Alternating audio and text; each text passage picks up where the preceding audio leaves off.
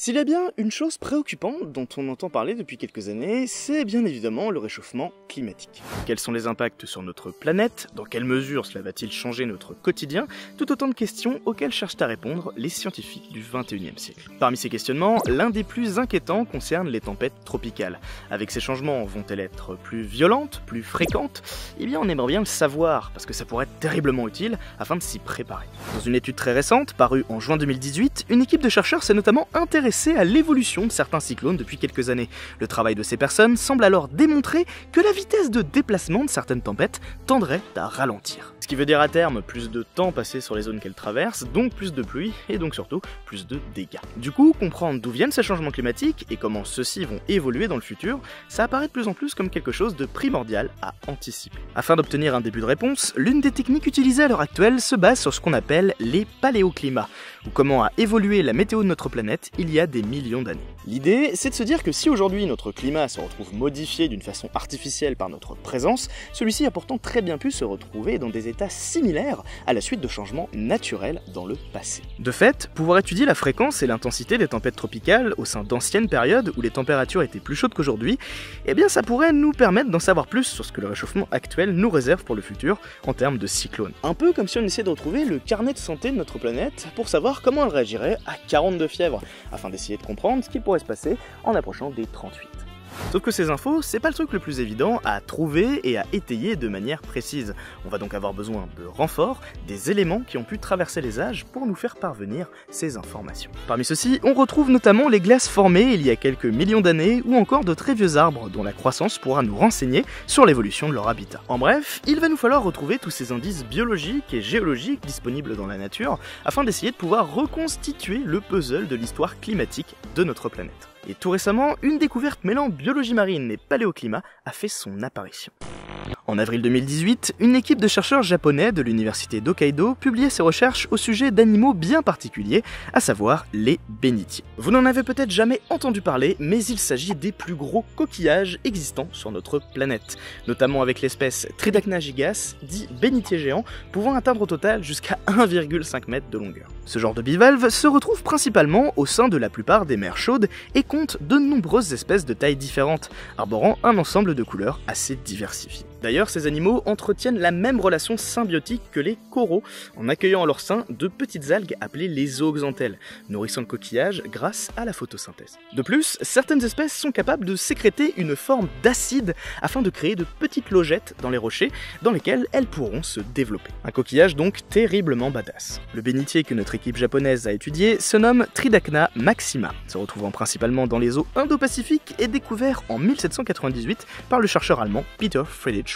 les études de ces scientifiques se sont concentrées autour d'un endroit appelé Okinotori Island, un atoll japonais inhabité et perdu au milieu de nulle part, au nord-est des Philippines. Sauf que cette île, elle est pile poil sur le passage de nombreux typhons. D'ailleurs, petite parenthèse, typhon et cyclone, c'est totalement la même chose, c'est juste un peu la dénomination qui change en fonction de l'endroit où se produit la tempête. Un petit peu comme pain chocolat et chocolatine, mais là au moins on a le droit de dire les deux. Pour revenir à nos typhons, on ne s'en rend pas forcément compte, mais ce genre de tempête monstrueuse, eh bien cela peut avoir un impact dévastateur sur la vie marine.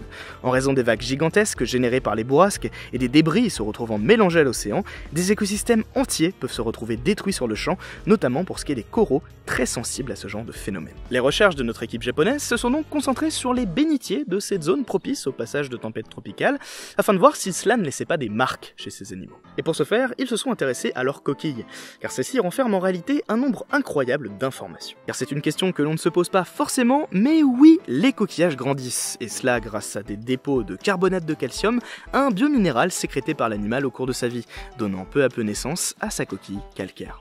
Sauf que cette construction, elle va pas forcément être continue dans le temps. Durant certaines périodes, celle-ci va pouvoir accélérer, ralentir, voire même être modifiée. Ces variations dans la conception de la coquille vont donner lieu à l'apparition de stries sur celle-ci, des marques qui vont permettre de distinguer certaines informations. Par exemple, à la manière d'une souche d'arbre, il va pouvoir être possible d'obtenir l'âge du coquillage en comptant une par une celles se produisant chaque année. C'est notamment en utilisant cette technique sur une palourde nordique pêchée en 2006 qu'on a réussi à estimer son âge à environ 507 ans, ce qui nous fait un demi-millénaire et qui implique la naissance du coquillage vers le XVIe siècle.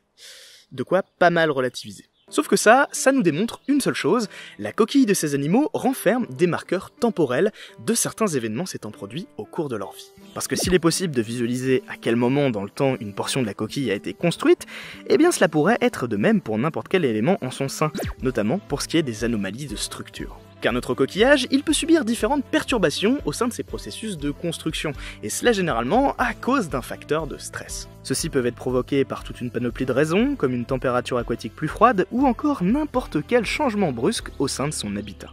Dans ces cas-là, ce qu'il faut comprendre, c'est que notre coquillage va se retrouver dans l'inconfort, ce qui ne va pas lui permettre de construire sa coquille de manière optimale. On se retrouve alors avec des variations de son épaisseur, généralement plus fines, ou encore avec des changements de composition chimique. Mais ce qu'il faut réaliser, c'est que ce genre de perturbation, ce n'est que passager. Une fois le stress passé, la croissance des parois du coquillage pourra alors reprendre d'une manière standard, mais tout en laissant derrière elle les traces de ces perturbations piégées dans la coquille. En fait, il faut essayer de voir ça comme une sorte de cicatrice. Et c'est précisément ce qu'a recherché notre équipe japonaise chez les bénitiers, les cicatrices que pouvaient laisser les cyclones sur ces animaux. Sauf qu'en fait, parfois, il y en a un paquet, et pour de nombreuses raisons. La difficulté du travail de ces chercheurs a donc été de trouver précisément quelle marque était spécifique du passage d'un cyclone. Pour pouvoir alors obtenir ces résultats, ils ont commencé à étudier en détail de fines coupes de coquilles de bénitier. Et en fait, l'espèce Tridacna maxima, c'est vraiment un coquillage super cool pour faire ce genre d'études, car sa coquille grandit à une vitesse telle qu'il est possible d'observer de nouvelles portions chaque jour. Du coup, pour la datation des perturbations, c'est plutôt précis et donc plutôt cool. Une fois la liste d'anomalies en poche, ils les ont recoupées avec la liste des cyclones passés dans la région, ceci mettant en évidence quelles marques seraient susceptibles d'être caractéristiques du passage de ce genre de tempête. Et finalement, après de nombreuses observations, ils ont fini par trouver lesquelles pouvaient illustrer l'impact de ces phénomènes météorologiques sur les bénitiers. Sauf que ça s'arrête pas là. Parce que du coup, si maintenant je sais que cette perturbation sur la coquille, elle est due au passage d'une tempête, et que je peux dater quand cette partie de la coquille a été faite, eh bien je peux tout simplement savoir quand s'est produit le cyclone à partir du coquillage. Alors oui, ça paraît complètement surréaliste, mais en fait, il y a peut-être un moyen d'aller encore plus loin. Vous vous souvenez quand on parlait paléoclimat et de trouver des indices concernant la météo dans le passé Eh bien les coquilles de bénitier, il est possible d'en trouver de très anciennes, parce que ces animaux, ils existent depuis très longtemps, et de ce fait, les vestiges de leur passage sur Terre se sont parfois retrouvés emprisonnés dans la roche. Dans certaines régions, où le sol est constitué de calcaire dit corallien, il est donc possible de retrouver certains spécimens de bénitier ayant vécu il y a quelques millions d'années. Sauf que s'il est possible d'en savoir plus sur le passage de certains cyclones en étudiant ces coquillages à l'heure actuelle, eh bien il pourrait peut-être être possible de faire la même chose en utilisant leurs fossiles. Cette équipe de chercheurs semble donc déterminée à essayer d'appliquer ces nouveaux protocoles d'identification de cyclones sur de très anciennes coquilles de bénitier. En faisant cela, cela permettrait d'obtenir un grand nombre d'informations sur la présence de tempêtes il y a des millions d'années. On pourrait donc en théorie en savoir plus sur la fréquence et l'intensité de certains cyclones au sein de différentes périodes climatiques plus anciennes. Et de ce fait, si nous en savons plus sur comment ces tempêtes ont évolué dans le passé, cela pourra peut-être nous aider à en savoir plus sur comment celles-ci seront dans le futur. En d'autres termes, ces scientifiques commencent à mettre au point les prémices d'une technique qui pourrait prédire les cyclones à partir de coquillages. Bon alors par contre, hein, quand je dis prédire, c'est bien évidemment très loin de pouvoir dire où et quand se produiront les tempêtes. Tout au mieux, il nous sera peut-être possible d'entrevoir ce que nous réserve le réchauffement climatique, de comprendre si oui ou non les cyclones vont devenir de plus en plus violents et fréquents, ainsi que d'identifier les plus grandes zones à risque. Mais bon, ces chercheurs arriveront-ils à leur fin?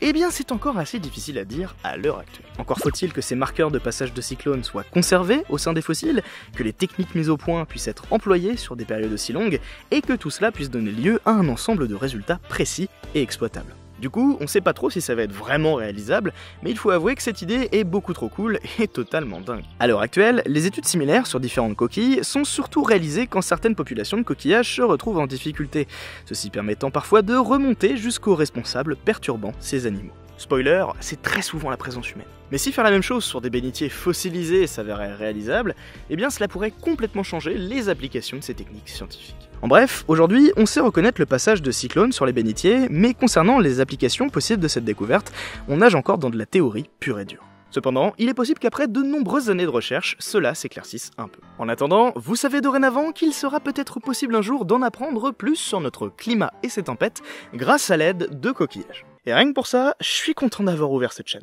On se retrouve en septembre, passez de bonnes vacances. Ciao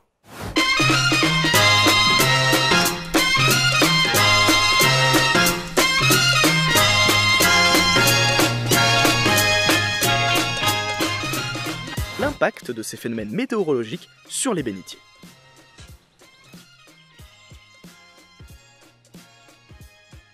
Ce moment où tu entends un craquement beaucoup trop fort pour que ce soit un homme. Ce serait con d'avoir un sanglier pour fin de tournage, quoi. Bon, si je me fais charger, je laisse la caméra là. Ça, on pourra peut-être filmer quelque chose de sympa.